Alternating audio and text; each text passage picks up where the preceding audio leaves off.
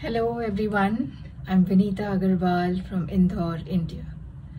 It gives me the greatest pleasure to accept the Proverse International Prize 2021 for a book-length collection of poems.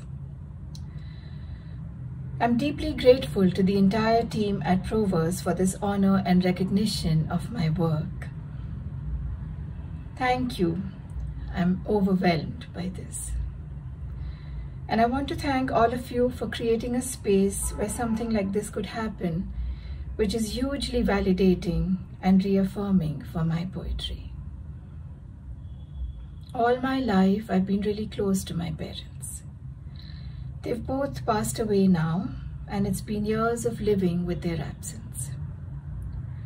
But really, in so many ways, they're still with me, especially when I need their strength and support.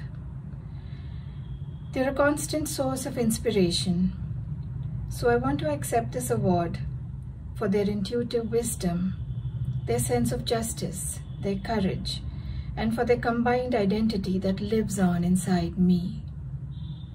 They taught me the values of respect, sincerity, and humility.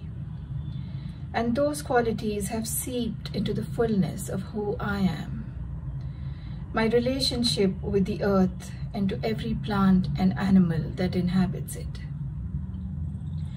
I'd also like to take this opportunity to thank my beautiful family, my husband of 32 years, Dinesh, my beloved son, Apurv, and my much-loved daughter-in-law, Heta.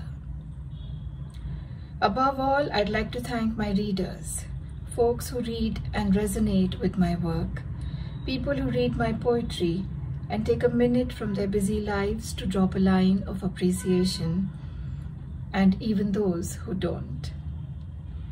Thanks are due also to my friends and colleagues who've proved pivotal in my journey as a poet. Thank you all for what you've taught me, for your untiring support of my work and of me as a person I'd like to particularly thank Ruth Padel and Ranjit Hoskote, both of who read the manuscript of Twilight Language and spared time to write their thoughts about the book in advance of its publication. Thank you.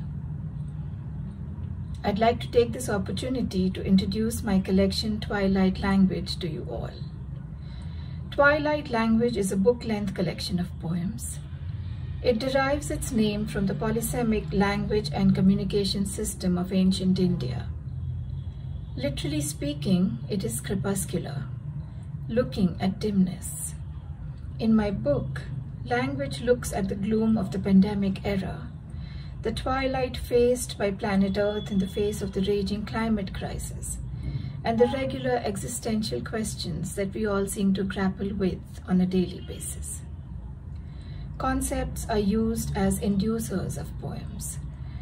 They evoke perceptions in the same way that sensory experiences do.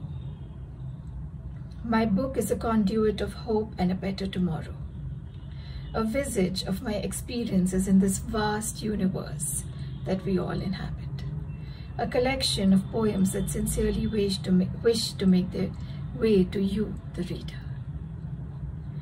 I'd also like to bring in here the fact that we all have a unique connection with nature. Speaking for myself, since childhood, I was drawn to sand and the mica that shone in its grains, to trees and the sense of calm they imparted, to mountains and the deep silence they nurtured, to stones and the fascinating patterns embedded in them, to birds, their melodious singing at dawn, and to the companionship of animals. I seemed to draw energy from nature.